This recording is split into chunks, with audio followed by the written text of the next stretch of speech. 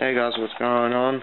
Uh, back 10 seconds later after the Shaun White video um, unboxing, and this is pre-owned version of Juiced 2 Hot Import Nights. I love Juiced 1 because it's basically like it, it's it's like a storyline that never ends. You can completely like choose races again and over again and over again. You got these calendars. It's pretty cool. Um, online game, just like Conflict Ops.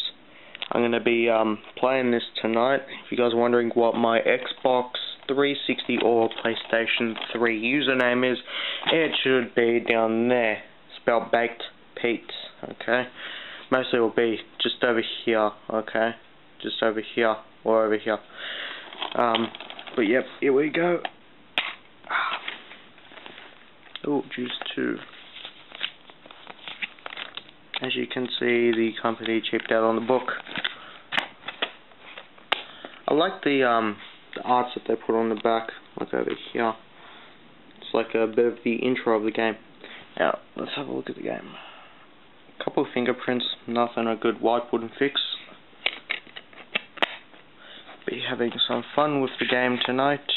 Yep, so that's what you're getting Juiced 2. Um, thank you for watching and please comment. I'm not cheap.